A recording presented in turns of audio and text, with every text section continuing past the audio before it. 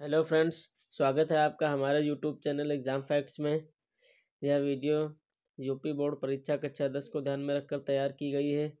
इसके साथ ही यदि आप विभिन्न प्रतियोगी परीक्षाओं की तैयारी कर रहे हैं तो ये वीडियो आपके लिए भी काफ़ी हेल्पफुल हो सकती है। इसलिए पूरा वीडियो बहुत ध्यान से देखिए। साथ ही वीडियो को लाइक और शेयर कीजिए तथा चैनल को सब्सक्राइब कीजिए। तो चलिए स्टार्ट करते हैं। आज का हमारा पहला प्रश्न है, भारत में और कहाँ औरतों के लिए आरक्षण की व्यवस्था की गई है? तो इसका करेक्ट ऑप्शन है पंचायती राज संस्थाएँ। भारत में तिहत्तरवें संविधान संशोधन उन्नीस सौ बानबे के द्वारा पंचायती राज संस्थाओं में महिलाओं के लिए तैंतीस प्रतिशत आरक्षण की व्यवस्था की गई है। अगला प्रश्न है, भारत में वर्तमान में कितने प्रतिशत महिलाओं को संसद में प्रतिनिधित्व प्राप्त है? तो पंद्रहवीं लोकसभा के अनुसार भारत में दस पॉइंट छियासी प्रतिशत महिलाओं को वर्तमान में प्रतिनिधित्व प्राप्त है। अगला प्रश्न है, बेल्जियम के किस शहर में, के स्कूलों में फ्रेंच बोलने पर रोक लगा दी गई है?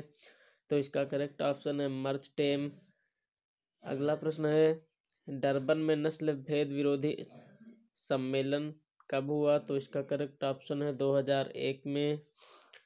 अगला प्रश्न है अलग अलग भाषा बोलने वाले लोगों के आधार पर सामुदायिक सरकार का गठन करने का अधिकार किस देश के नागरिकों को दिया गया है?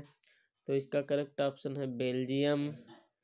अगला प्रश्न है, इंडिका पुस्तक के लेखक कौन है? तो इसका करेक्ट ऑप्शन है मेगस्थनीज अगला प्रश्न है, श्रीलंका में तमिल मुख्य रूप से कहाँ रहते हैं? तो इसका करेक्ट ऑप्शन है उत्तरी पूर्वी प्रांतों में। अगला प्रश्न है, भारत में बहुसंख्यक आबादी है। तो इसका करेक्ट ऑप्शन है हिंदू समुदाय की।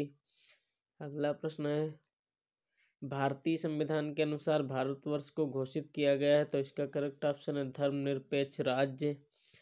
अगला प्रश्न है, काले दस्ताने और बंधी हुई मुट्ठियाँ किस बात का प्रतीक है, प्रतीक थी? तो इसका करेक्ट ऑप्शन अश्वेत शक्ति का।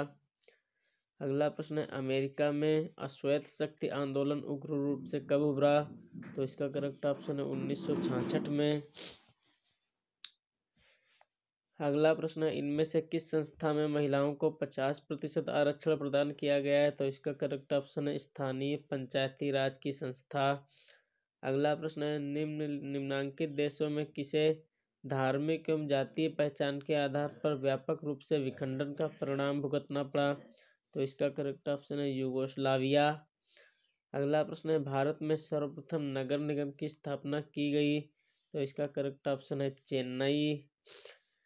अगला प्रश्न है, सत्ता की साझेदारी की एक अनूठी एवं सर्वोत्तम प्रणाली किस देश में विकसित की गई? तो इसका करेक्ट ऑप्शन है बेल्जियम में। अगला प्रश्न है, निम्नांग, निम्नलिखित व्यक्तियों में से कौन लोकतंत्र में रंग भेद के विरोधी नहीं थे? तो इसका करेक्ट ऑप्शन है जेड गुडी। अगला प्रश्न है, भारतीय संविधान के बारे में इनमें से कौन सा कथन सही नहीं है? यहाँ पे सही नहीं है होगा। ठीक है तो इसमें से या धर्म के आधार पर भेदभाव की मनाही करता ये सही है, या धर्म को राजकीय धर्म बनाता ये गलत है यह सभी लोगों को कोई भी धर्म मनाने की आज़ादी देता है, ये भी सही है।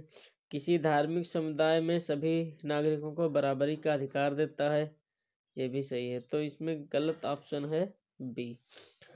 इसके बाद अगला प्रश्न है, सत्ता में साझेदारी के प्रमुख कारण इनमें से कौन नहीं है?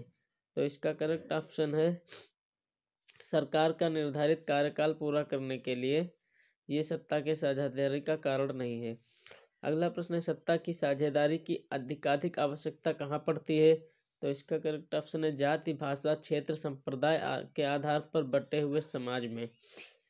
अगला प्रश्न, इनमें से सच्चे इनमें सत्ता की साझेदारी का एक सही लाभ क्या है? तो इसका करेक्ट ऑप्शन है समुदायों के मध्य टकराव में कमी हो जाती है। अगला प्रश्न है अमेरिका में चलाए गए नागरिक आंदोलन का मुख्य उद्देश्य है।